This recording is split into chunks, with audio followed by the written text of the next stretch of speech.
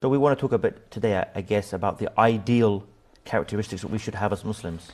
The Prophet ﷺ, he said, إِنَّمَا بُعِثْتُ لِأُتَمِّمَ صَالِحَ الْأَخْلَاقِ I was only sent to perfect good manners.